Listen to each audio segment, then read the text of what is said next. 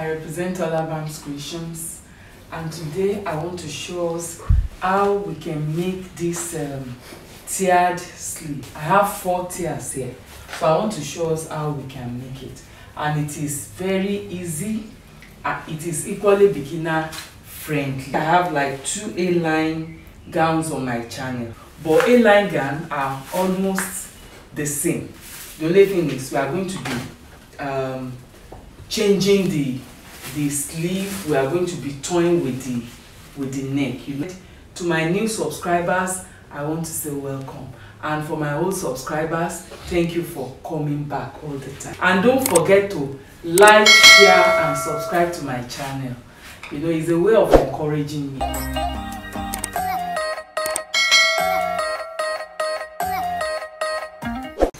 So for this um, tiered sleeve I'm going to be needing my basic sleeve and here is the draft of my basic sleeve we have done this draft in the previous tutorial. This is the back armhole and here is the front armhole. From here to here is the cap side.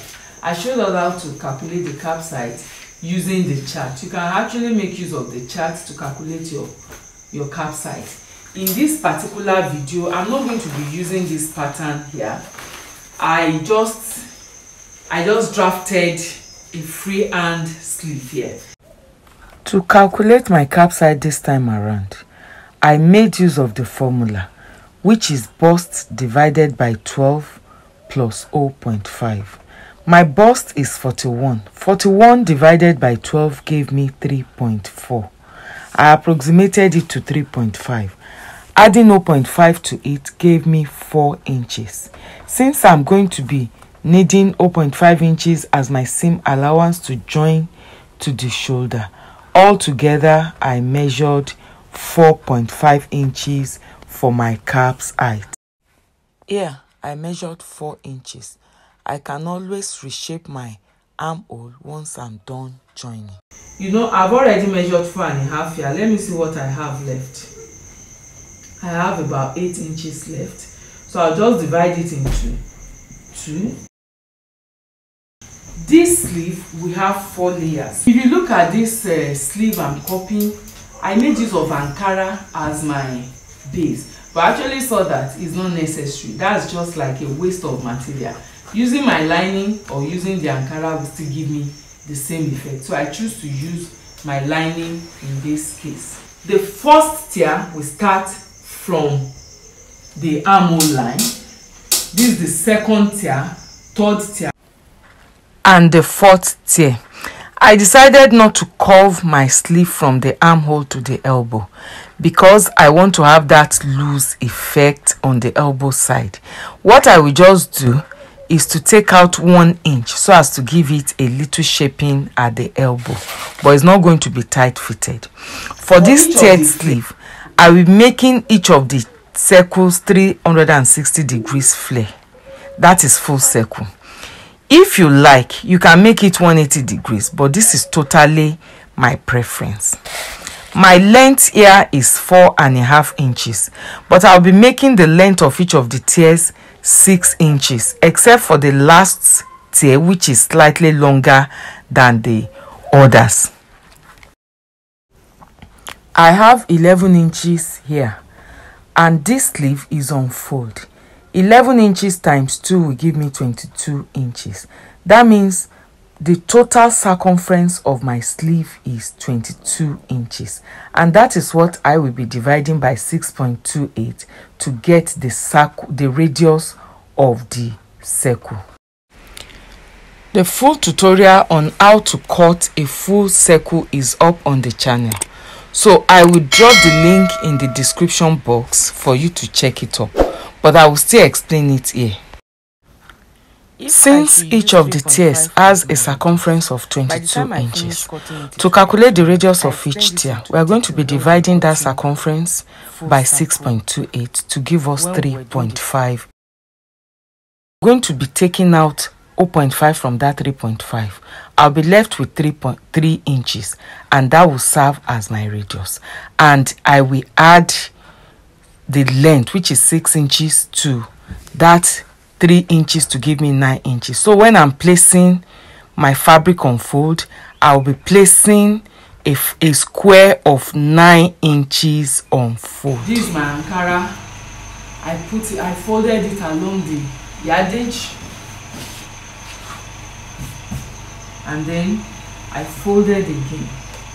Because i'm cutting two circles together. I just need 3.5 plus i need 3.5 plus 6 inches. So that gave me 9.5 so when i'm turning it over i'll just calculate 9.5 inches or at most 10 inches. So here now i said i i needed 3. points. okay let me measure 3.5 here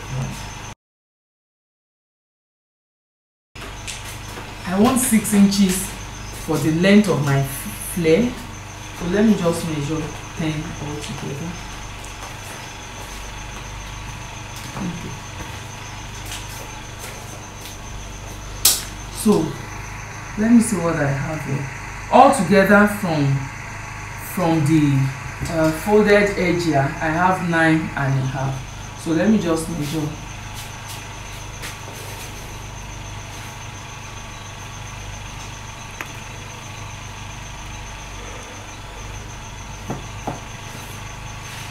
I'll connect the dots together. But remember remember I said if I should cut at exactly 3.5 here I may have too much. Although if I still cut it there is no I'll just move my hand up a bit. We have it for the two sleeves together. Yes then I will cut it on one side and then notch notch the center here. Since i'm cutting on the wrong side i will remember to put a mark here so that i don't make any mistake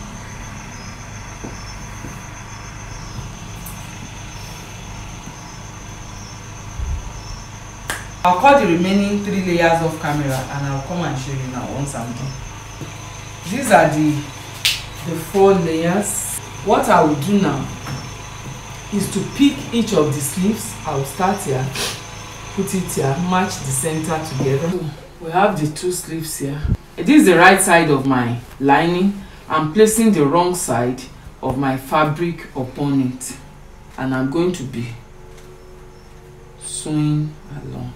I want the fabric to be equal on both sides so I decided to start from the center. I will do it to the other side and then start all over again. I've held my fabric to my lining with an office pin.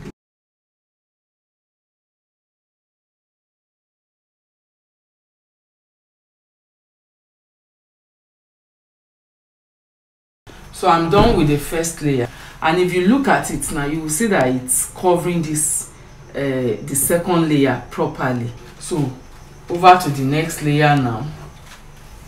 So this is still the center here. Layer 2 now.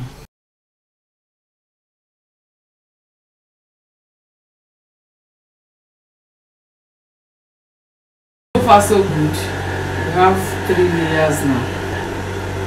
You can see how beautiful is showing and is laying flat. So I'm going to fix the, the last layer. For the last layer, so right side is facing the right side and then I will join it because this is the way it will now turn because that's the last layer. I'm done sewing the last layer to the lining so this is how it will turn and remember for this last layer I place the right side on the right side because it will turn in the opposite direction. So you can see that the overlapping really helps. I don't have a serger at home. I will take it to the market so that I can they can serge it for me.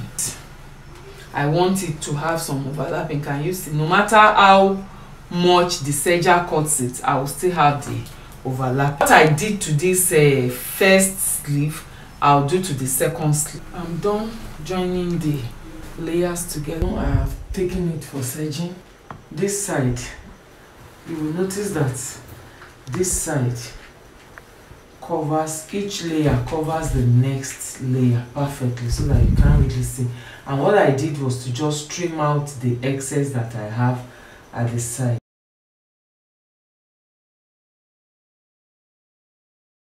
What I did was to pin down all those all the flare together so that it doesn't shake. I will make sure to pack all the flare inside. More or less like we are back to our our basic sleeve now. The next thing i'm going to do here is to cut out the armhole. I'm going to be measuring my cap side my cap side is four and a half. This is where my cap side is located. Here is the folded side and this is the open what i'm just trying to do is to pick the flare pieces inside and draw out my armhole curve.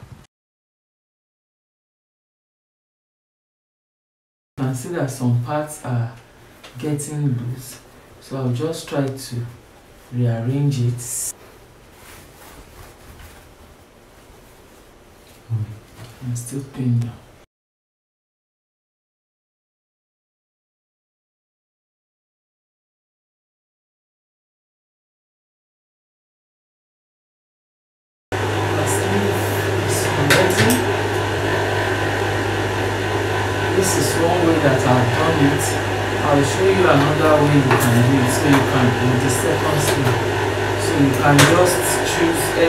That is uh, that is convenient for you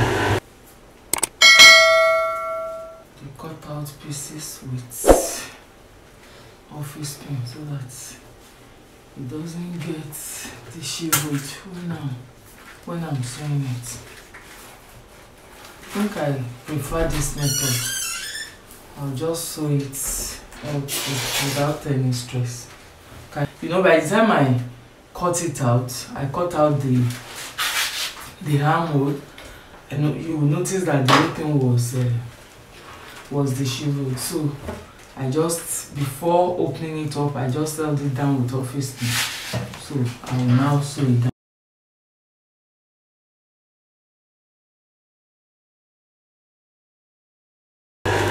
So here is the second sleeve. I think I prefer this method. It was easier this. So I'll go and join this to my kaftan and come back to show you the final outcome.